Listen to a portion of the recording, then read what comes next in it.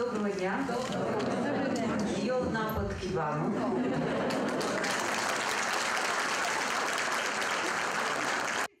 Бурхливі оплески у присутніх викликало вітання міністра освіти України із педагогами Берегівщини угорською мовою. Після вступного слова Лілія Гриневич одразу перейшла до найскандальнішого питання мовного аспекту закону про освіту. За її словами, дискусійна стаття номер 7 обросла величезною кількістю міфів. Проблему штучно розбурхують політики.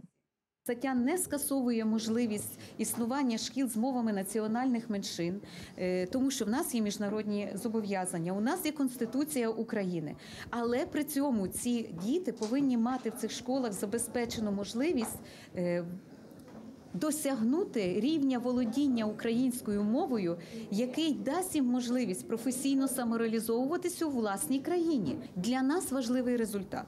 Кожен випускник загальної середньої школи повинен володіти державною мовою незалежно від його національності, бо це йому дасть більше шансів для його самореалізації.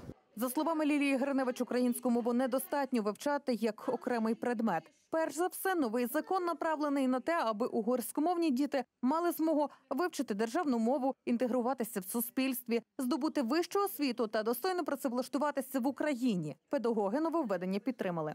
Держава мало звертала увагу на мовну питання вивчення мов у національних школах за роки незалежності, але і взагалі на освіту в тому числі. Напевно, якщо б звертало увагу, то ми б не мали сьогодні таку кількість тих, хто виїжджає працювати за кордон, тому що добре почували би себе вдома. Все ж були і такі, хто висловився категорично проти того, аби в навчальних закладах предмети викладали державною мовою, тільки угорською. Зокрема, гостро виступила ректор Берегівського інституту імені Ференца Ракоці Ілдика Орос, яка свого часу назвала новий освітній закон поверненням сталінського режиму.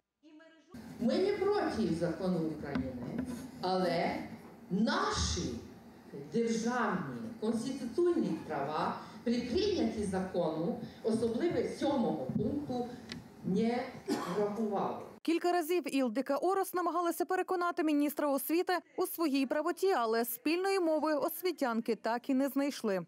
Пані Ілдіко, або я відповідаю вам і ви слухаєте, або не ставте запитань. Ви не чуєте моєї відповіді, запитуєте другий раз те саме про право обирати навчальну е, мову навчання. Я вам відповідаю. І відповідаю одне: що будуть вибирати мову навчання, і це будуть школи з угорською мовою навчання. Але це не означає, що ми будемо зберігати сучасну систему, яка не забезпечує ефективного навчання української державної мови. Ми повинні дати майбутнє цим дітям. Зрештою, завершили високопосадовці зустріч із педагогами Берегівщини підведенням підсумків щодо результатів ЗНО. За словами директора Українського центру оцінювання якості освіти, результати дуже погані. Якщо говорити за українську мову, на жаль, на сьогодні в нас е, показник подолання порогу склав не склав е, для угорномовної групи складає 66,4%. Закон наразі перебуває на розгляді у венеціанській комісії. Попереду довгий шлях до його імплементації, але так чи інакше є ризик загострення кадрової ситуації, зокрема на Закарпатті. Лілія Гриневич пояснила, як вирішуватимуть цю проблему. Підвищенням кваліфікації вчителів, по-друге, мовними курсами для вчителів. Тож загалом невдовзі зміни чекатимуть як на учнів, так і на викладачів. Закон будуть впроваджувати та виписувати модель його реалізації до 2020 року.